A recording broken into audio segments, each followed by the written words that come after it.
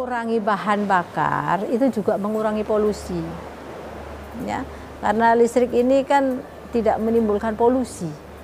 Nah, ini adalah salah satu ya. Ini mungkin contoh ini nanti di daerah Sededap sudah ada, mungkin daerah-daerah lain juga akan meniru gitu, khususnya daerah kepulauan. Karena memang pengiriman BBM hari ini juga agak bermasalah.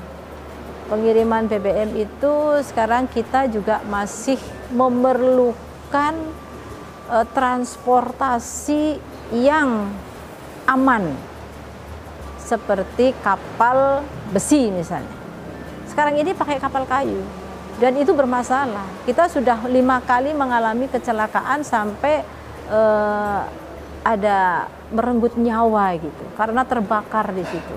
Maka kita sedang berusaha uh, bagaimana agar uh, transportasi untuk pengiriman BBM ke pulau-pulau karena di sini juga ada BBM satu harga yang memang menjadi program pemerintah pusat ya tentunya untuk nelayan gitu.